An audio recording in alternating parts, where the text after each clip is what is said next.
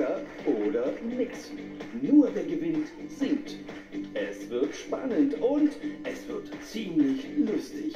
Mit Andy Borg, mit Marina Marx und Carsten Walter, mit Ben Zucker, mit Daniela Alfinito, mit den Draufgängern und mit Florian Silbereisen.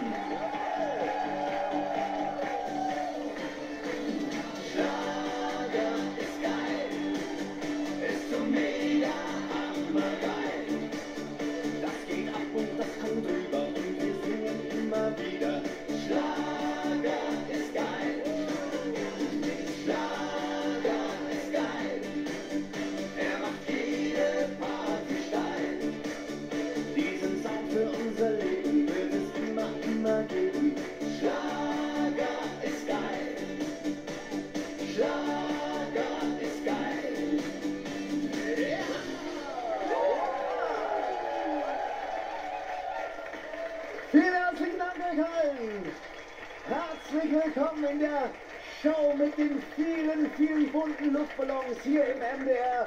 Schön, dass ihr alle da seid. Herzlich willkommen und ein Willkommen in diese wunderbare Runde. Schön, dass ihr da seid. Andy Borg, Marina Marx, Carsten Walter, Ben Zucker, Daniela Alfinito und die Draufgänger hier und hier. Das klingt schon mal sehr, sehr gut. Also das Schöne ist ja, niemand weiß, wie diese Show heute ablaufen wird. Auch ich weiß es nicht, denn das wird sich erst im Laufe der Show herauskristallisieren. Ich weiß nur so viel. Wir werden miteinander so viel Spaß haben wie in keiner anderen Schlagershow. Wir werden uns heute auch mal so ein bisschen anders kennenlernen, von einer anderen Seite zeigen. Auch das wird sehr spannend. Und wir werden natürlich ganz, ganz viele tolle Schlager zum Mitsingen und Mitfeiern hören.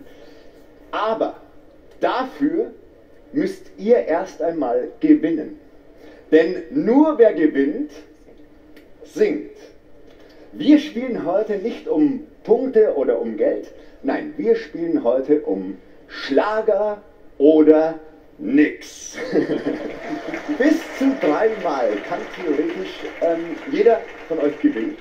Demzufolge auch bis zu dreimal singen. Es kann aber natürlich auch sein, dass ihr heute Abend nix gewinnt und demzufolge leer ausgeht. Es wird also wirklich spannend und deshalb würde ich sagen, legen wir jetzt auch sofort los mit unserem Schlagertipp Nummer 1.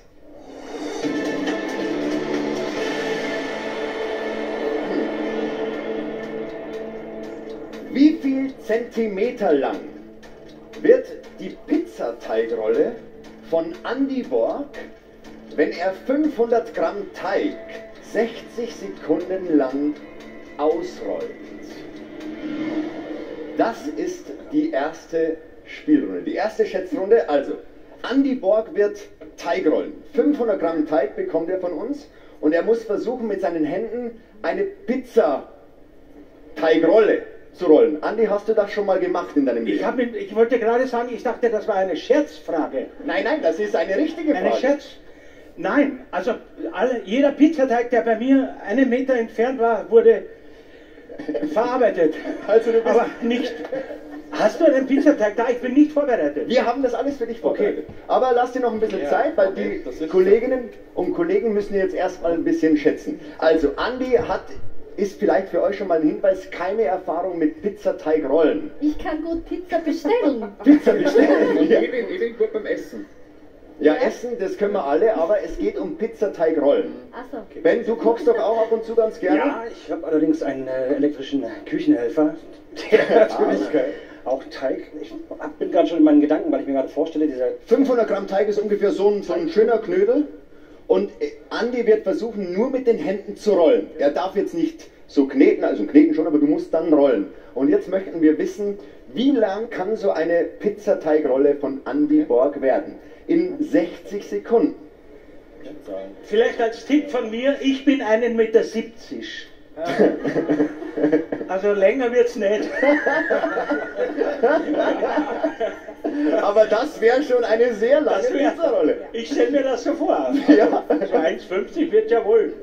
Also, ihr hattet jetzt Zeit zu überlegen und ich darf euch jetzt gleich um eure ersten Tipps bitten. Es ist so, dass immer wenn eine Zahl genannt wurde, die gleiche Zahl nicht mehr wiederholt werden kann. Deshalb werden wir auch in jeder Spielrunde eure Tippreihenfolge verändern. Damit hat keiner einen Vor- oder einen Nachteil. Okay? Also, dann starten wir jetzt und ich bitte euch jetzt, eure Tipps abzugeben. Wie viel Zentimeter?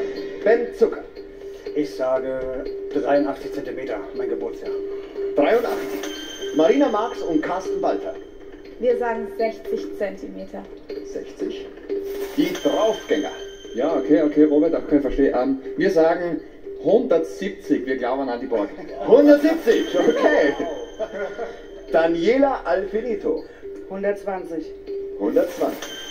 Das sind die Tipps unserer Stars. Wie lange soll ich machen? Andi, du kannst natürlich jetzt in dieser ersten Spielrunde nicht tippen, weil du wirst jetzt für die Auflösung sorgen. Ja. Ähm, schau mal, wir haben hier für dich alles vorbereitet.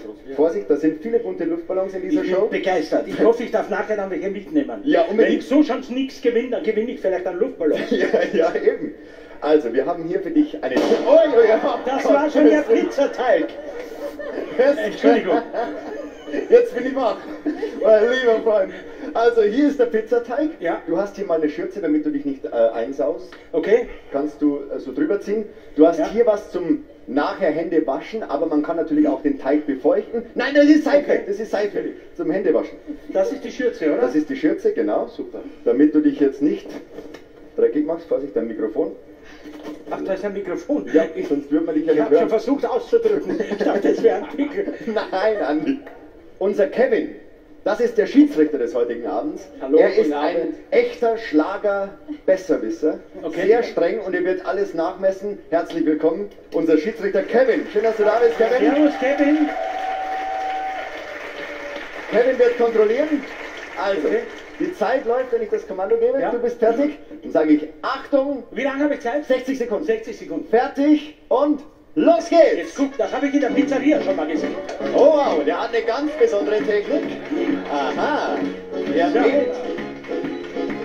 Und ich darf jetzt so, Du darfst jetzt rollen, ja. den geh mal weg. Ja, ich geh weg, ich geh weg. Ohne Mehl ist besser. Ohne Mehl ist besser. Es wird. Und jetzt schön rollen. Rollen, rollen. jawohl. Das ist rollen. nicht so einfach, gell? Das Aber jetzt gibt er Gas. Du hast jetzt noch 35 Sekunden. Aber es wird eine schöne Pizzastange. Ja. Wenn ich gewusst hätte, hätte ich keine, kein Mehl drauf getan.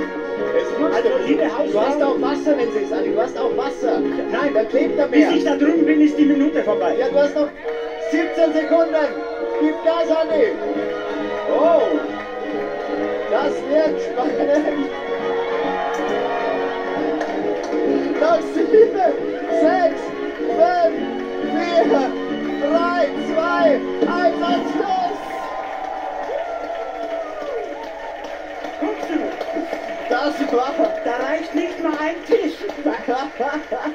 Das ist ein Pizzastangerl. Ja, aber was für ein.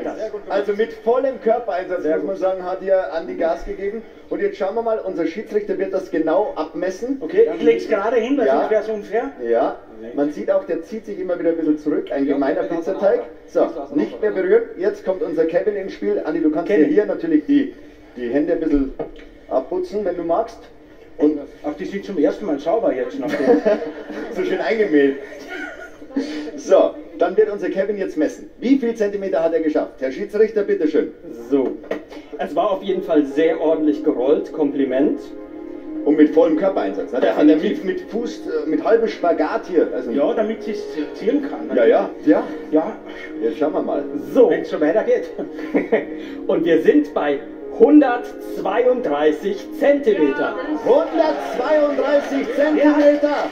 Wer ist da da? Das wäre das richtige Ergebnis gewesen. Und jetzt schauen wir mal, wer ist denn am nächsten dran?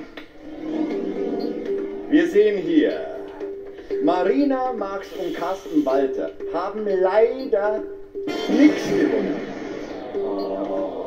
Ben Zucker hat leider nichts gewonnen. Die Draufgänger haben leider nichts gewonnen. Gewonnen hat Daniela Alfino. Daniela!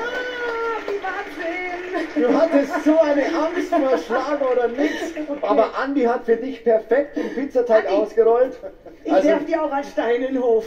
besser geht's nicht. Daniela, du darfst als erstes singen. Was hast du für uns mitgebracht? Natürlich meine Blue Jeans. Na dann, Bühne frei für Daniela Alpinito.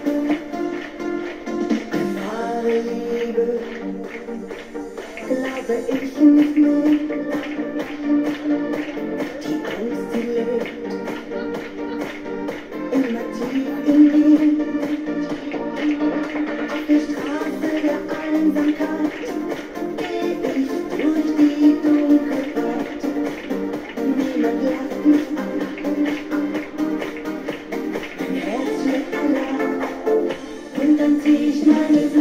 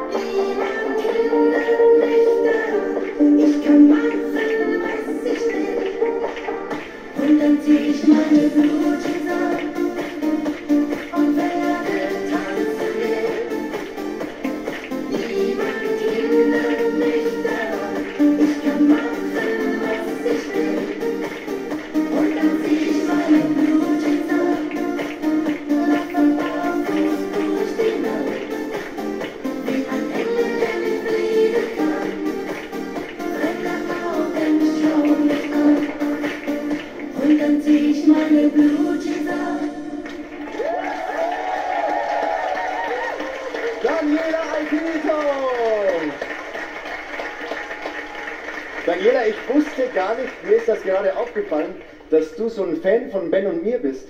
Weil du hast hinten auf deiner Jacke ein Selfie von uns drauf. Genau. Schaut euch mal das Ben an. und Florian. Kannst du dich mal kurz umdrehen, dass wir das sehen? Schau mal. Vielen Dank. Also, das geht schon mal gut los und wir kommen jetzt sofort zu Spiel Nummer 2.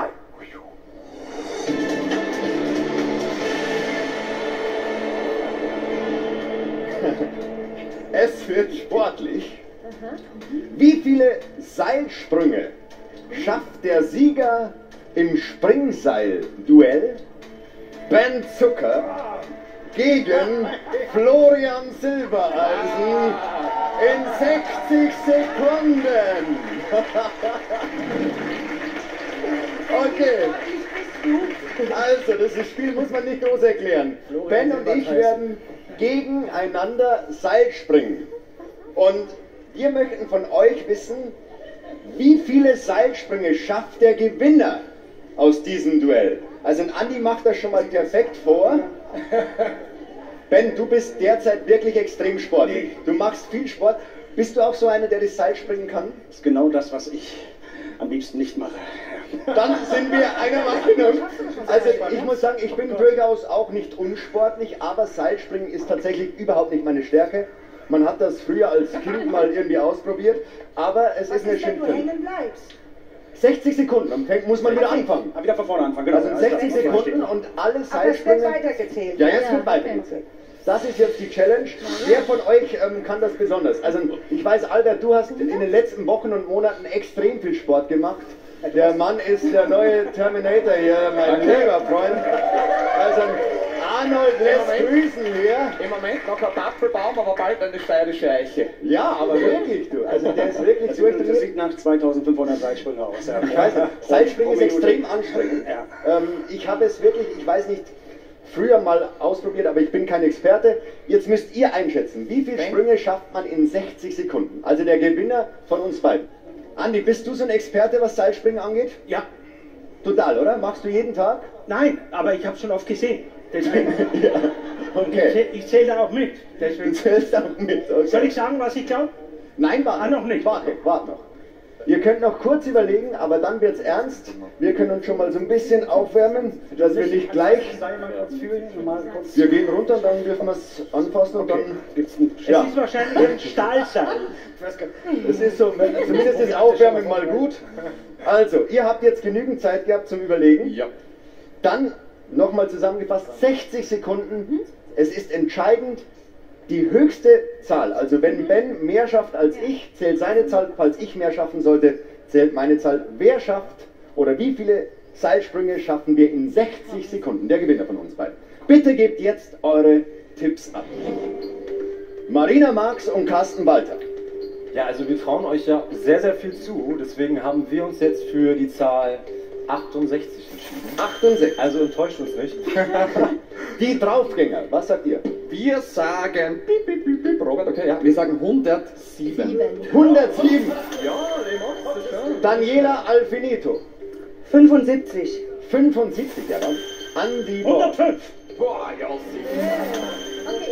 Okay, Ben, die glauben an uns, ich glaube noch nicht ganz an uns.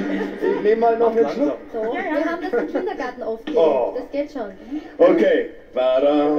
der Einmarsch der... Seilsprünge addieren. Kommen wir dann auf die Zahl. Ja, wenn wir sie addieren würden, ja, aber wir müssen sie ja einzeln Das wäre machen. so die Idee. Ben, du bist ähm, der Gast, du darfst entscheiden, wer anfängt. Ich bin Linkshänder, ich würde hier die. Ich bin ja auch Linkshänder. so, ja, auch du bist dabei, aber, aber was ändert das daran? Wenn Ja, du ich Linkshänder bist, das doch in beide in der Hand und habe das Gefühl, dass ich hier mehr. Also da bist du sicherer als hier. Also ich gehe vielleicht ein Stück versetzt, oder? Ich gehe vielleicht Ja, natürlich, ich gehe dann auf die Seite. Wir machen ja nacheinander. Ah, okay. Nacheinander. Du darfst entscheiden, wer, Logischerweise. wer anfängt. Ich bin, wie gesagt, kein Experte. Wenn du das jetzt sehr, sehr gut kannst, dann bitte ich dich, dass du anfängst, dann kann ich mir das ja sparen. Diese, diesen Kraftakt. Aber ansonsten, du kannst entscheiden. Du fängst an. Ich fange an. Gut.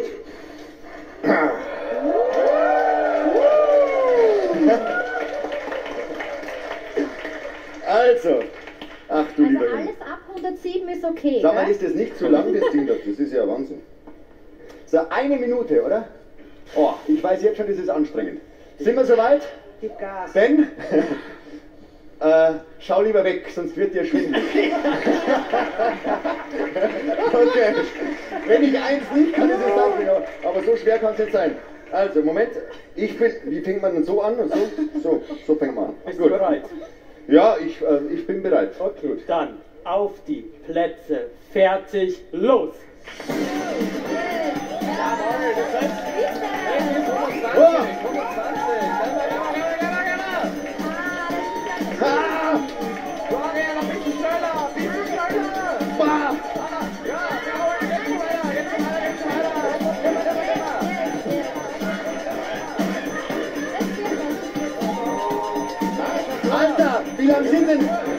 60 Sekunden? Ah, nein! Noch 30 Sekunden. Ich hab keine Luft mehr.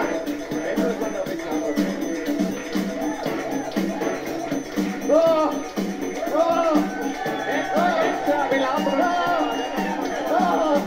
Noch 10 Sekunden, Florian.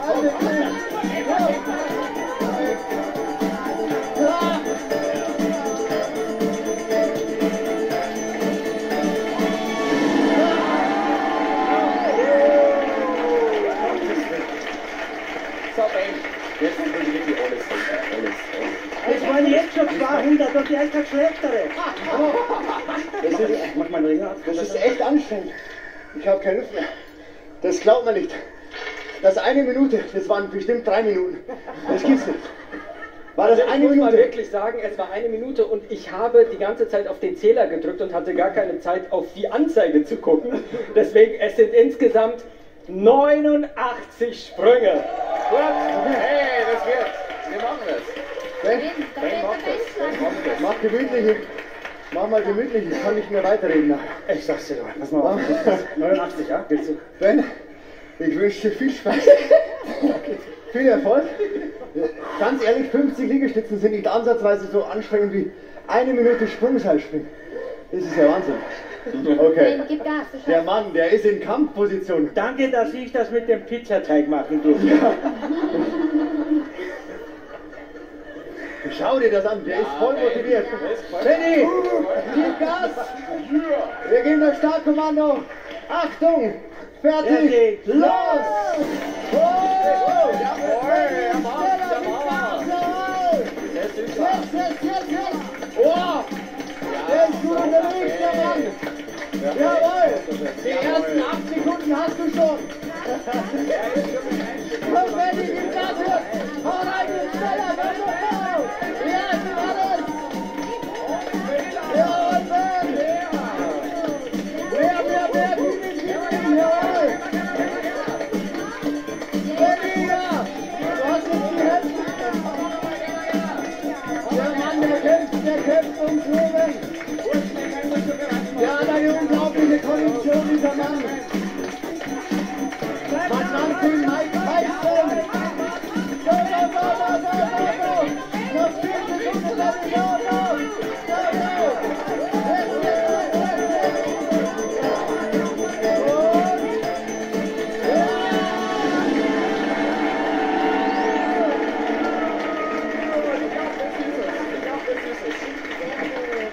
Meine Güte! Ist das anstrengend? Ah, Was wolltest du uns schon immer mal sagen, Ben? Kann ich? Ben, ben was möchtest du uns allen sagen? Ganz tolles Spiel. Spaß. Herr Schiedsrichter, ich glaube, das war eine überragende Leistung. Ich ziehe meinen Hut. Ich bin gespannt, aber es sah deutlich ja, aktiver aus als äh, bei mir. Wir schauen mal. Genau, Florian, du hast ja 89 geschafft. Ja, was unglaublich war. Genau, und bei Ben, also ich hätte ja nicht gedacht, dass diese Zahl machbar ist, also großes Kompliment. 117 Sprünge. Wow! Herzlichen Glückwunsch, Ben Zucker! Bleib noch ein bisschen hier. 117 Stück. Und jetzt schauen wir mal, wer ist denn am nächsten dran? Wer hat richtig getippt? Das heißt, Daniela Alpinito hat mit äh, 75 leicht daneben gelegen. Leider nichts gewonnen. Marina, Max und Carsten Walter haben nicht gedacht, dass Ben auch mitmacht. Leider nichts gewonnen. Andy Borg war sehr knapp dran, aber leider nichts gewonnen. Gewonnen haben die Traumsberger!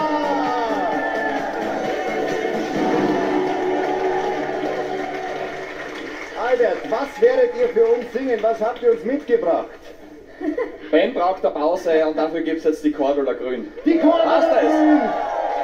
Okay, dann sage ich Bühne frei für die Draufgänger Cordula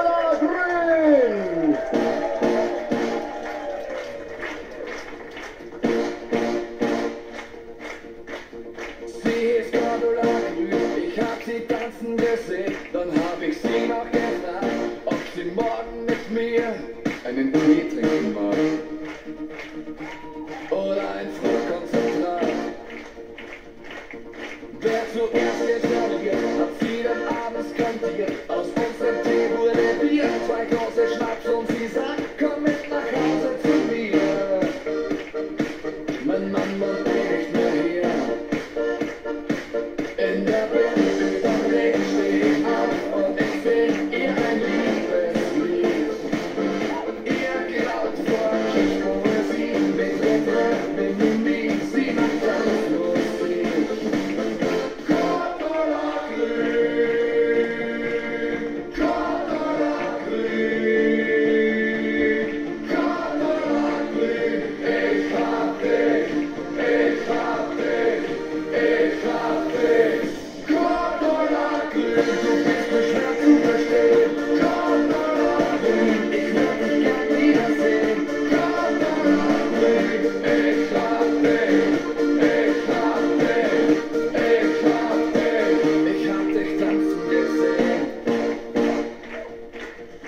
Mir war's am nächsten Tag klar, ich will jetzt nur Cordula. Ich bin doch dein Optimist, selbst wenn sie mir verschwiegt.